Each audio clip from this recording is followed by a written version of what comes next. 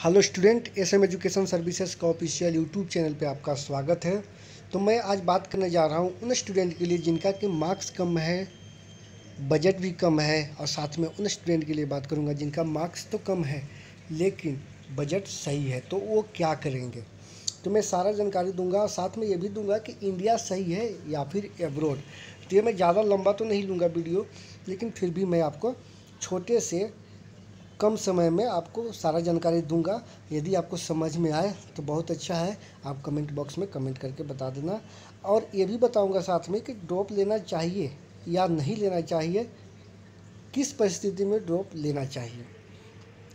और यदि आप लोग को इससे रिलेटेड किसी भी तरीके के प्रॉब्लम होती है तो seven zero four seven five four two one two seven पर कॉन्टैक्ट कर सकते हैं। आपको प्रॉपर गाइडेंस दी जाएगी, साथ में एडमिशन से रिलेटेड सपोर्ट भी की जाएगी। तो सबसे पहले मैं बात करता हूँ, मार्क्स कम है तो क्या होगा? तो मार्क्स कम है जिन स्टूडेंट को और उनको सिर्फ़ और सिर्फ़ गवर्नमेंट चाहिए और उनको इंडिया के बाहर नहीं जाना चाहते हैं तो वैसे स्टूडेंट को ड्रॉप लेने में कोई प्रॉब्लम नहीं होना चाहिए, थोड़ा भी संकोच नहीं करना चाहिए और साथ में यदि उनको फ़र्स्ट अटैम्प्ट है, सेकेंड अटैम्प्ट है तो बिल्कुल ड्रॉप ले सकते हैं और आज से प्रण कर लेना होगा कि आज से मैं अच्छी लगन और मेहनत के साथ स्टडी करूँगा ताकि नेक्स्ट ईयर आपको गवर्नमेंट कॉलेज मिल जाएगा। नेक्स्ट पॉइंट है, जिनका बजट सही है, लेकिन उनका मार्क्स भी कम है, लेकिन यदि उस स्टूडेंट को जिनका कि मार्क्स तो कम है, लेकिन बजट सही है बजट है काफ़ी तो आप एडमिशन ले ले। यदि आपका अटैम्प्ट ज़्यादा है, ज़्यादा बार आप जो है से ट्राई कर चुके हैं नीट का तो आपको इसमें संकोच नहीं करना चाहिए। बहुत ही अच्छे अच्छे डीम्ड यूनिवर्सिटी हैं, साथ में प्राइवेट भी कॉलेज है, जिसमें कि आपको कम स्कोर पे भी सीट मिलने की चांस चांसेज बन जाती है। और हाई जिनका बजट जिनका लो बजट है, अब उस पर मैं बात करता हूँ। लो बजट है, लेकिन वो ड्रॉप लेना नहीं चाहते हैं तो उनके लिए एक और एक मात्र एब्रॉड है। या फिर वो एब्रॉड चाहते हैं तो एब्रॉड के लिए अपना तैयारी कर ले एब्रॉड में स्टडी के लिए अपना प्लान बना ले, क्योंकि एब्रॉड में सारे स्टे सारे कंट्री सही नहीं है। क्योंकि वहाँ पे क्या होता है, बहुत सारे ऐसे कंट्री हैं जहाँ की एजुकेशन अच्छी नहीं है क्वालिटी वाइज स्टडी वीक होती है, साथ में गैदरिंग भी होती है तो ये सब चीज़ से बच के, जाँच परख के तभी एडमिशन ले, नहीं तो आपको बहुत ही बड़ा धोखा हो सकता है। और साथ में मैं तो जहाँ तक कहूँगा कि अगर उन स्टूडेंट को जिनका बजट सही है, मार्क्स कम है तो इंडिया को ही पकड़े। इंडिया से बाहर जाना कोई ख़ास काबिल तारीफ़ नहीं है। इंडिया में कॉलेज अच्छे से अच्छे हैं, लेकिन आपके पास मार्क्स सही है तो आप ले सकते हैं इंडिया में और बजट सही है तो। और दूसरी बात ये भी, आपका पड़ोसी देश Nepal, Bangladesh, Ukraine, Georgia, Philippines, बहुत सारे कंट्री है, चाइना, यूएसए तो आप यहाँ पे भी जाके एजुकेशन ले सकते हैं, लेकिन सारे कंट्री सही नहीं है। ये भी आपको जाँच परख के ही एडमिशन लेने में काबिल तारीफ़ होगी।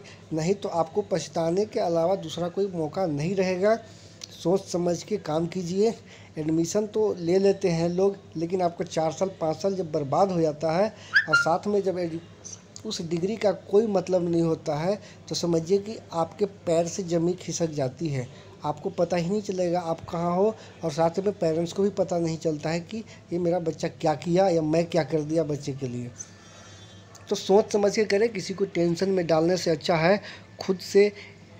अभी भी टाइम है टेंशन में होना नहीं है कूल माइंड से थोड़ा सा डिसाइड करना है, समझ बूझ के काम करना है, ताकि आपकी जो एजुकेशन की कुंजी है, वो अपने पास रख के करना है। ये नहीं कि किसी के बहकावे में या किसी को बोलने पे कहीं भी चले जाए।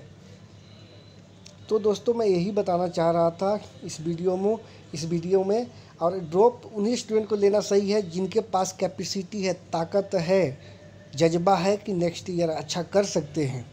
और वैसे स्टूडेंट जिनके पास ऐसा काबिल नहीं है, उनके पास ऐसा धैर्य नहीं है कि वो नेक्स्ट ईयर अच्छा कर सकते हैं परफॉर्मेंस अच्छा कर सकते हैं तो वो अपने अकॉर्डिंग कोई ना कोई कॉलेज ले लें, इसमें कोई संदेह न लें।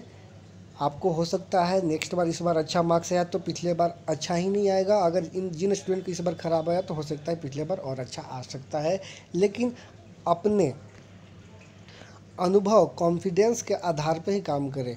किसी के कहने पे यहाँ मत जाओ, वहाँ मत जाओ, ये मत करो, वो मत करो के चक्कर में रहेंगे तो आप कहीं नहीं रहेंगे। लास्ट में आपका पूरे चार साल बर्बाद होंगे, पूरे दिन बर्बाद होंगे, आप पता चलेगा एडमिशन भी नहीं कहीं हुआ और लास्ट में फिर आप वही जनरल कंपटीशन की तैयारी में लग जाएँगे।